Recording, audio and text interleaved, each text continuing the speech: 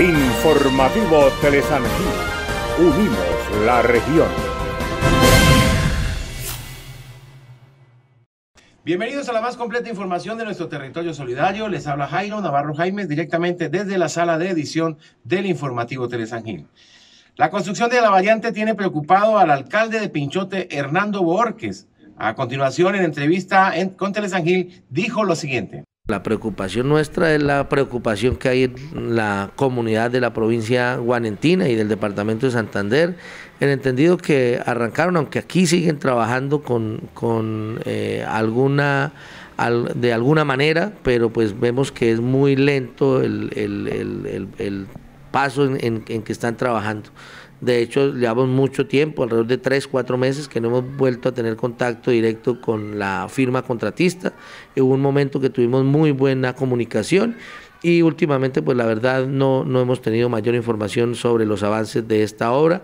Lo que sí es cierto es que nos deterioraron por completo una vía, que se hizo inventario cuando ellos iniciaron obra eh, pues obviamente como no se ha terminado por lo menos lo que tiene que ver en la jurisdicción del municipio de Pinchote, pues obviamente aún no podemos hacer la exigencia de que nos repongan esa vía, porque era una vía eh, eh, por donde ellos pasan pavimentada, que pues las condiciones de este pavimento era para tráfico liviano y pues por el tráfico pesado que ha estado saliendo por ahí está completamente deteriorada esta vía que esperamos que eh, una vez se terminen las obras la, la, recuperemos. Y con los incumplimientos contractuales directos que ellos tienen, pues imagínense los derivados del contrato que no son las responsabilidades, digamos, directas que tienen, que no nos vayan a cumplir con el, eh, eh, el, el restablecimiento de esta vía.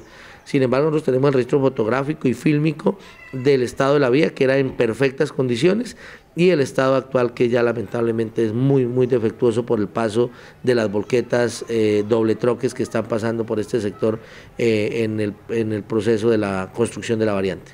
Las demoras pues afectan la tranquilidad de, de las personas que viven cerca de la carretera, que esto, el paso de las, de, de las volquetas, el polvo que se levanta en época de verano, y la afectación de la vía dañada es alrededor de 700 metros y la intervención de la variante son 2.6 kilómetros, si la memoria no me falla, en jurisdicción del municipio de Pinchote. Pero la vía que nos han afectado a nosotros son alrededor de 700 metros eh, eh, de vía pavimentada que nos han afectado. La teniente coronel Ruby Leonor Pinzón Pinzón, comandante del primer distrito de Policía San Gil, invita a la comunidad a denunciar oportunamente la violencia intrafamiliar la siguiente información gracias al trabajo informativo de Heriberto Mariscal.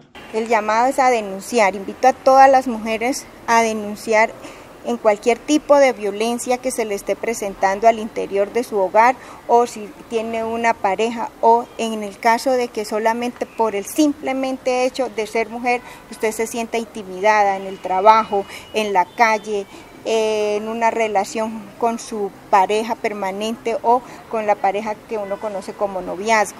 Es importante que nosotras conozcamos de que la norma nos ampara, que no podemos seguir siendo maltratadas y que debemos hablarlo y exponerlos, no solamente para que eh, se le dé indicaciones a la mujer de cómo debemos protegernos, sino para hacerle un estudio a ese hombre agresor y poder capturarlo oportunamente o para poderlo poner en tratamiento porque muchas de estas personas tienen problemas eh, psiquiátricos. Aunque no se tuvo la denuncia en este caso oportunamente para poder hacer la captura en flagrancia, las autoridades han iniciado un proceso de oficio en contra del presunto agresor.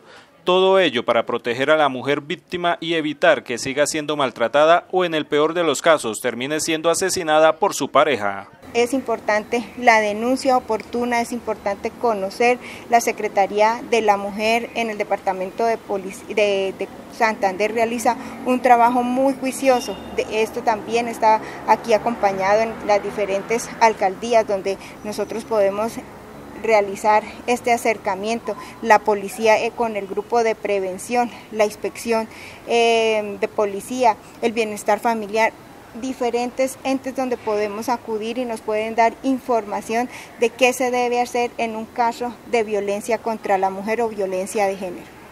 En reunión del alcalde de San Gil, Hermes Ortiz Rodríguez, con los comerciantes y directivos del terminal de transporte de San Gil, se expresaron inquietudes y se tomaron medidas para corregir algunas dificultades. Jaime Antonio Castañeda Ferrucho, gerente del terminal de transporte de San Gil, dijo al respecto lo siguiente. En conformidad de algunos comerciantes por la poca afluencia de público para pues hacer uso de estos establecimientos de comercio en el sentido de la compra de la gaseosa, de la empanadita, del tinto, del agua, eh, pues debido a, que algunas empresas de transporte pues no están eh, entrando a la terminal de transporte.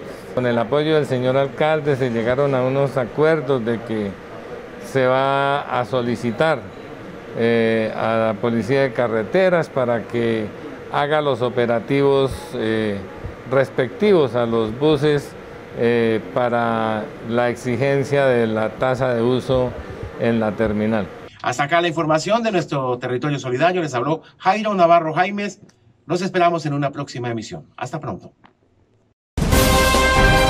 Informativo Telesanquí.